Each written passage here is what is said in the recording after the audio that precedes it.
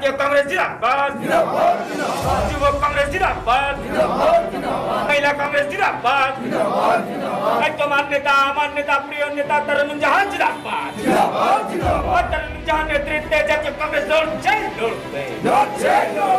अगर हिम्मत हौसला है अल्लाह पे यकीन है और बासठ नंबर वार्ड के लोगों ने इस बात को अहद कर लिया है कि इस बार बदलाव हो अगर 27 साल में कुछ काम होता तो हमें ज़रूरत नहीं पड़ती इस डॉक्यूमेंटेड वादा को सामने लाने के लिए। अच्छा मैंने अभी तक कोई इल्ज़ाम लगाया है क्या? नमस्कार, आदाब, आप देख रहे हैं इंडिया न्यूज़।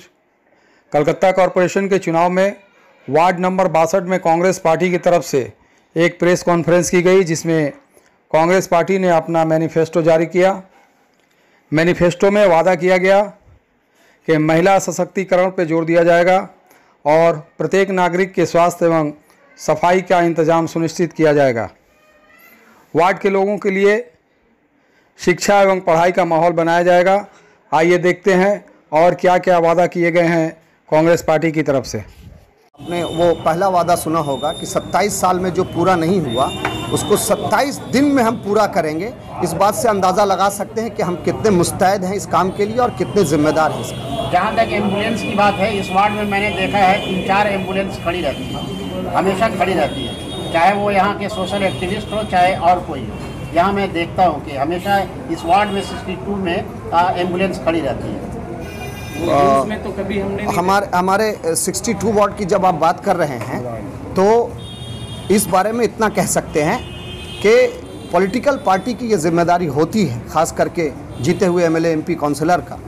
कि वो एक वार्ड के लिए वो रहते आपने जो सवाल किया हो सकता है कि वो किसी वक्त आता हो और चला जाता हो दिखलाने के लिए। मगर डेडिकेटेड बासठ नंबर वार्ड के लिए स्पेशली ऐसा अरेंजमेंट नहीं हम दावे से ये कह सकते हैं। अच्छा मैंने अभी तक कोई इल्ज़ाम लगाया है क्या?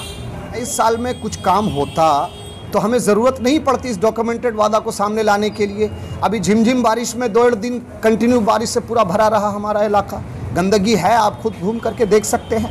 चूँकि ये बहुत पेंट्रेटिंग और बहुत ज़रूरत वाला मुद्दा सामने आया है, जिसको हमने ऑब्ज़र्व किया है। हम किसी पे ये ब्लेम लगाने के लिए काम नहीं कर रहे हैं। मुझे मौका मिलेगा, मैं पाँच साल में इस दस वादे को पूरा करूँगा। किसने क्या किया? वो जवाब वो खुद दें। इस बात से एक जवाब दे सकते हैं कि कल 12 बजे रात में हमारा लिखा हुआ वॉल चार दिन पहले वॉल पेंटिंग किया हुआ, हमारे पास वीडियो है, जो जुमा के दिन हुआ था, उसको मिटा करके हमने जिसके बारे में थाना में कंप्लेन किया है, गए थे थाना में, उसी हिसाब से भी, अशफाक साहब की बात हुई थी, उसको किया गया।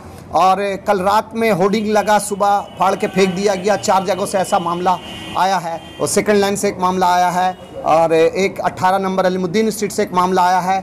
एक और अलीमुद्दीन स्ट्रीट लखी बीबी मस्जिद के पास लखी अलीमुद्दीन स्ट्रीट के मामला के पास से मामला आया है कि होर्डिंग फाड़ के फेंक दिया जा रहा है। एक जगह तो ये तर्क किया जा रहा है कि यहाँ पे होर्डिंग ना लगाइए यहाँ पे आज हमारी नैना बंदोपाध्याय जी आएँगी डोर टू डोर करने के लिए। इन हालात में आप कितना टक्कर दे पाएँगे? देखिए हिम्मत मर्दा तो मदद खदा।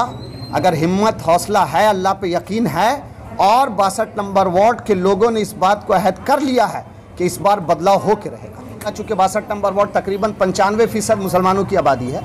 यहाँ जहन में एक बात डाल दिया गया कि किसी और पार्टी को देने से बीजेपी बीस से जीत के निकल जाएगा। लोगों ने एक तरफा तृणमूल को वोट किया जिसका ये रिज़ल्ट सामने ऑल ओवर बंगाल लोग एमपी वोट को मेंबर ऑफ़ पार्लियामेंट के वोट को अलग से देखते हैं स्टेट को वोट से अलग स्टेट गवर्नमेंट का वोट को अलग से देखते हैं कॉरपोरेशन को वोट को अलग से देखते हैं कि कौन लोग हैं जो बढ़ चढ़कर आ, काम किया ज़मीनी स्तर पर उतर करके उनको मौका मिलता है। तरह की मस्जिद का जो मसला है ये आज कम से कम सात आठ साल पहले का मसला है। इस मसला में जब जिस टाइम झमेला आया केस हुआ थाना पुलिस हुआ सब कुछ हुआ उसके बाद तो जो यहाँ के हमारे काउंसलर थे उन्होंने तो ये एक बार मस्जिद के थ्रू ये वादा किया कि हम मस्जिद का मसला हल कर चुके हैं। सारे लोगों को बताया गया एक बार मछली का फ्रंट पेज में आया कि मस्जिद का मसला हल हो गया। जबकि आज भी आपको हम बताते हैं कि आज भी उसका केस हाई कोर्ट में अभी चल रहा है और पेंडिंग है। क्योंकि किसी का कब्जा वहाँ किया हुआ था। हम लोगों ने उसको मस्जिद की जगह थी। मुकामी एमएलए तो सुनने के लिए तैयार नहीं है, मुकामी काउंसिलर भी सुनने के लिए तैयार नहीं है।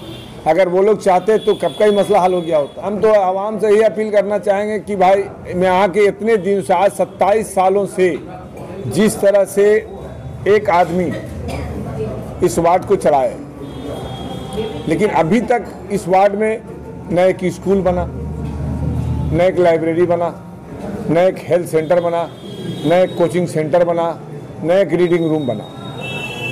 इसके मतलब ये हुआ है कि यहाँ के लोगों को जो जितना जाहिल तबका में पड़े रहे, वो उनके लिए बेहतर है। ताकि वो उनसे कोई और सवाल नहीं कर सके।